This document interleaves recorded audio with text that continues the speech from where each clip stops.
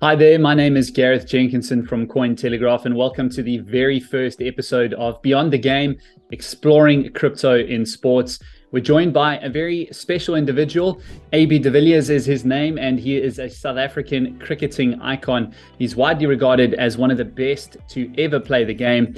Ironically, we're not here to talk about cricket today. We're here to talk about crypto more specifically. Um, AB is becoming an ambassador of a new Web3 investment platform built on Ethereum. We'll touch on that a little bit later in the interview. But to start things off, AB, I think myself and all of our viewers would love to know how your journey into Web3 began. Uh, did it start with Bitcoin and Ethereum? Are you a hodler? We're dying to know. I actually learned. Uh about crypto the first time through my brothers. Um, I was very, very skeptical. I always am of any investment they take on. um, but they they're big believers in XRP and Ripple. Um, and since about 2016, 17, they started um, playing around with that. I just turned a blind eye completely. Didn't want anything to do with it. Only a couple years later, I was actually um, in the gym one morning and I was I sort of downloaded this this app and I just started to follow um, some of my favorite stuff. Obviously, the markets as well, gold and commodities, um, but also the Nasdaq and S and P 500. I just found a bit of interest. Started reading a little bit about the markets around the world, and then obviously also crypto, Bitcoin, Ethereum, XRP were my first interest. Uh, and um, not long after that, I, I, started investing a little bit in XRP, which did pretty well over over 12 to 18 months. And um, I found myself in Dubai in 2020, I think, if uh, if I'm not mistaken, 2021, where I heard about NFTs for the first time. And um, I, I, know this friend, Jonathan Woolley, lives in Cape Town, good friend of mine. Um, and um, I actually just literally just randomly asked him what do you know about NFTs? And he gave me a long list of pointers, um, where to start, download your MetaMask wallet. It was all very confusing and complicating. So that was my first introduction to crypto and also NFTs. And I've been involved ever since through lots of ups and lots of downs as well. Yeah, definitely plenty of ups and downs. Uh, I think the same thing probably goes for cricket. Um, just out of interest, why was XRP something that caught your interest over Bitcoin? The preeminent cryptocurrency or even Ethereum, um, which pioneered smart contracts? Yeah, obviously Bitcoin and Ethereum are the, possibly the two, the two safest crypto assets if, if there is something like that.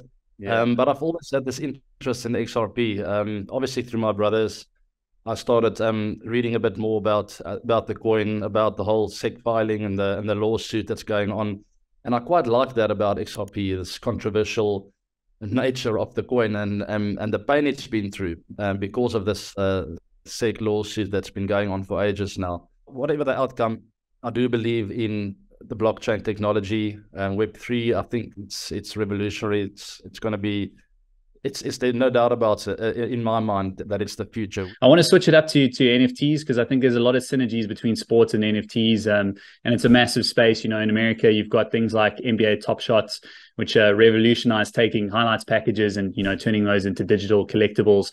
Uh, you've got things like Bored Apes. Um, I wanted to know if you've acquired any interesting NFTs um, over the years. Um, uh, what have you dabbled in, AB? My favorites are um, obviously the Mutant Ape Yacht Club. Bored Ape is a little bit expensive for me, and I'm not prepared to spend that amount of money.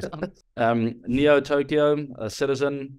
I bought one of those. Impostors, I'm a big believer of EllioTrades and Alex Becker and what the, the guys are trying to do. They're quite um, controversial on Twitter. This journey will just grow and grow as time goes on. I, I do believe the NFT industry will have a boom pretty soon, but we'll we'll see about that. Um, other NFTs, um, quite a few actually. I, I, earned up to 300 at one point.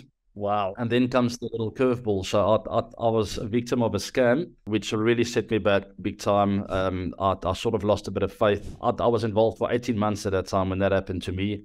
Um, it was around the Pudgy Penguin um, project, which I also believed in big time. and uh, yeah, but anyway, I, I was victim to a scam, lost quite a bit of my investment there, my portfolio. Um, but I'm still involved. I still have my some of my NFTs, not all of them. Obviously, a few of them disappeared, um, unfortunately. But that's the nature of the of, of the game. And um, I, I, guess if you don't do your research properly, if you're not very diligent diligent in, in what you do, um, I made a couple of mistakes and, and it cost me dearly. just out of interest, Davey, maybe you can chat a bit more about how the scam took place, uh, so our viewers out there can get a better understanding of how social engineering works um, and how quickly you can actually lose control of your digital assets, and if you're unlucky, uh, lose everything. I was really guided well by by Jono, my friend. Um, his first rule was always never to touch anything that doesn't look like it's legit. Uh, visit the website, um, go to Twitter, make sure that they are they are 100% legit. Even go into Discord, uh, Telegram. There are so many different platforms to verify this and to make sure it's a it's a legit project. Obviously, the the Pudgy Penguins are very legit, but the the little Pudgy hoodie that arrived in my on my main page on MetaMask was obviously wasn't legit. Um, I, I never thought anything like that could actually end up on my main page. I always saw um, it in the hidden box, but um, for one to appear on the day that Pudgy Penguins um, on Twitter release something about uh, there will be some drops and for the long term holders. And so this little hoodie appeared there. I didn't want a hoodie, but I thought it's pretty nice. Receive a, a Pudgy hoodie.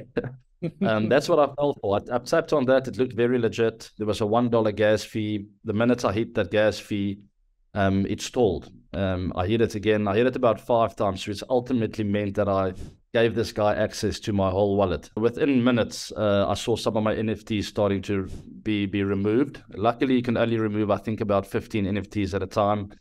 Um, I can't remember the exact number, but I, I saw a batch of 15 go, and I was like, "That's weird. What happened?" And I immediately started calling some friends um, panic, big, big time panic. It was absolute chaos. And ultimately, I trusted my friend. He gave me his address. I sent the remaining batch of my NFTs to him, luckily in time. And um, yeah, I'm still in the NFT game. I'm, I, I won't give up, but um, hopefully never fall for something like that again. Maybe your involvement in the Web3 and crypto space is uh, ramping up a little bit. Uh, you've become the ambassador of a new project called Commonwealth, uh, which is a Web3 investment platform built on Ethereum and as I understand it, it allows retail investors to gain access to invest in early stage projects or companies. And that's something that's typically reserved for venture capitalists, right? Um, uh, the proposition is pretty interesting. You can invest in a variety of funds and uh, projects you can get access to your capital through an ownership representing NFT, and you can take that, uh, you can hold it, you can fractionalize that NFT, you can sell it depending on uh, what you want to do. Um, out of interest, AB, why did you decide to get involved in this project, and um, how does it resonate with you? I've always wondered how, how did the early investors get involved with the Bored Ape Yacht Club and all the new amazing projects out there? Yeah, and I, I think that is a really really big issue out there is um, not to give the common person an opportunity to get involved with with good project, good or bad. I mean, we, we can't all just invest in the good stuff, but um, just to have an opportunity. Um, as you know, it's reserved for VCs mostly, and the retail investors always come jump on a bit late, um, sometimes to the downfall. Um, and I think that's where Commonwealth is completely different. It's a fund you can invest in the fund. Your average person can do so, and I think that's that's groundbreaking. Um, whether you're a person that's got a job from nine to five you don't really have time to to sit in front of your laptop all day and have a look at different projects, do all that homework. Um, these guys will be investing on your behalf, um, and as you said, you can you can buy a fraction of NFT. You can you can literally spend fifty dollars to whatever amount, and and the trick in that is it's liquid. Um, as you said, I'm not exactly sure whether it's immediate or a day or two, but it's yeah. not like your normal investments where you sometimes have to hold onto your for eight to 10 years in the, before it becomes liquid. Becoming an ambassador in the cryptocurrency space, obviously, uh, you have a huge sphere of influence uh, in the world of cricket and in the world of sports. You know, many millions of followers on your uh, various social media channels. Um, it does feel like you have a bit of a compelling story to tell in alignment with this project. Um, it's built on blockchain. Uh, it's built on Ethereum. It's it's giving people access to investment in Web three. Uh, is that a compelling story that you you feel like you you want to align yourself with going forward? Uh, now that your cricket career is uh, behind you, I feel one thousand percent confident about this. I know the people that are on board. I know the people that have created this, um, and I, I, I understand the simplicity thereof. And giving, I, I mean, that's that sort of resonates with my upbringing as well, and and us people in South Africa, the way we were brought up with our different cultures, the racial issues we've had in the past, um, different people with privileges, other others not. I think that's the issue around the world, and this project sort of tackles that, and that resonates with me. I, I love the fact that the common person, that's why it's called Commonwealth. Um, can get an opportunity as with the most wealthy person out there, um, the guy who has been involved with this space for 10 years, who knows all the tricks, the ins and outs. This just gives you a level playing field. It gives everyone the same opportunity. AB, just to finish off with the crypto side of this conversation, obviously it seems like behind the scenes you've been uh, pretty involved in the Web3 space already, you know, uh, dabbled in in NFTs um, and uh, invested in, in various cryptocurrencies. Um, do you see yourself uh, being more involved in this uh, Web3 and crypto space going forward? Um, uh, can we expect more of this from you? I'm still involved. I'm not going anywhere. I, I truly believe in the technology. I believe in the space. As I said, I could never put my finger on which projects will work, which won't. I have the few that I believe in. I do my research, research with that. I follow certain people. I'm I'm on this in the space every single day of my life, whether it's 30 minutes, sometimes two hours. I just like to know what's going on, follow the right people. Um, I always uh, have enjoyed following Elon Musk. Um, he's quite controversial on Twitter, yeah. obviously as well. But you follow the right people on Twitter, you get a, a decent understanding of what's happening in the space and and then you do your own research as well. All right, AB. I thought we'd finish off the interview with some cricket focused questions. Obviously, my my background in sports broadcast means I have plenty to ask you. I'm going to try and keep it short and sweet. Um, starting off with uh, your favorite team to play against, your favorite opponents.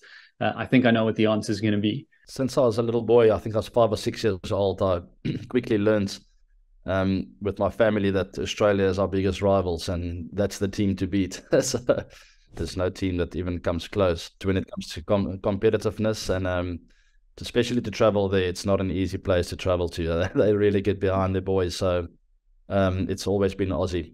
Off the top of your head, uh, the worst bowler to face uh, was it a, any particular seamer or maybe one of the trickier spinners out there? The first guy who comes to mind is Shoaib Akhtar. Um, facing him was, I never felt that he's going to get me out all the time.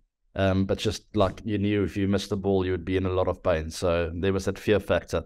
Rashid Khan um, in the T20 business, especially at night time when you can't pick the ball, those are one of the guys you feel like this guy can get me out at any minute and I'll have to sort of be proactive and take it to him, get him off his game. And those are the guys that you're never comfortable um, playing against. All right, AB, thanks very much for taking the time to chat to me. It's been a really long and enjoyable conversation. I look forward to seeing your involvement in the Web3 space going forward.